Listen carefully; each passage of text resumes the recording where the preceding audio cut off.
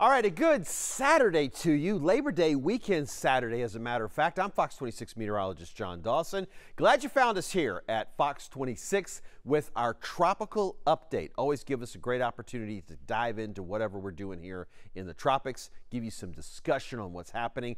And, you know, it's very common here, the, the Labor Day weekend, that we would be discussing uh, some kind of activity because it's so active this time of the year. And we'll look at some statistics on that in a minute. But the good news is we do have an area that the National Hurricane Center is focused on right now, and it is way out in the Atlantic. If something were to become of this, there will be lots of time to continue to monitor this. So here is the Atlantic Ocean.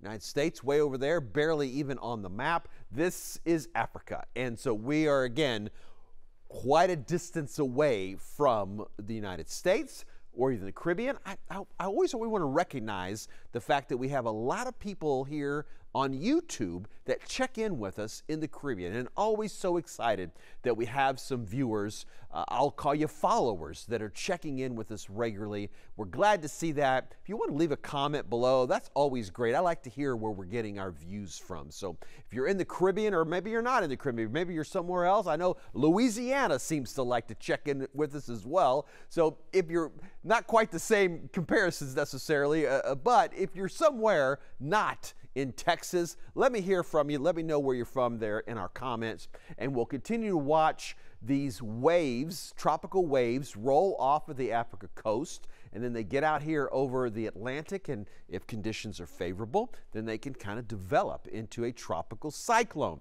And right now, the National Hurricane Center identifying first this yellow shading, this area in which this could be taking place, and then the percentage chance that it would have in the happening. And in this case, it's over a seven day period. So over the next two days or over the 48 hours coming up here, we're not expecting anything to happen, a near 0% chance there could be tropical development. But when we get a little further down the line there, three to seven days out, this yellow shaded region here identifies where it would form. And again, a reminder, this is not indicating any kind of impacts or where a system would go, how large or how small, anything like that. It's just saying within this yellow shaded area, there's a 30% chance over a seven day period that we could have a tropical cyclone form and that normally would be a tropical depression.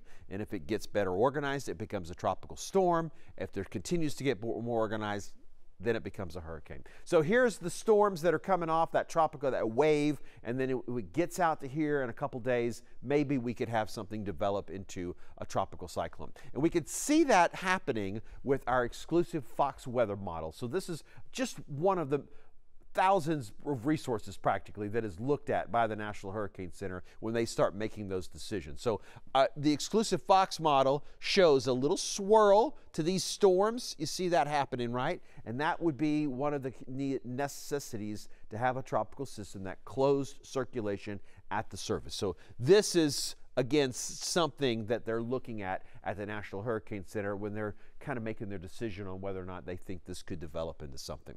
And if it does become strong enough to be a tropical storm, where it gets a name, Gabrielle is our next name on the list. You'll remember that Fernand was a tropical storm that stayed out in the Atlantic.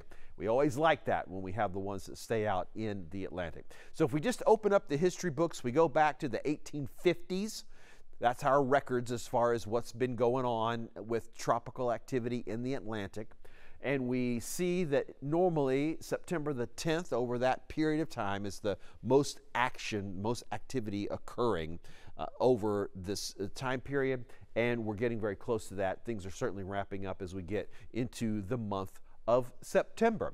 All right, we're here every day of hurricane season even on the weekends, obviously. So we got your Saturday report right now. Tomorrow, Sunday, I'll be back 4 p.m. Central Time, a little bit after 4 p.m. Central Time. We'll get this uploaded for you, and we'll expect to see you back here checking with the latest on the tropics.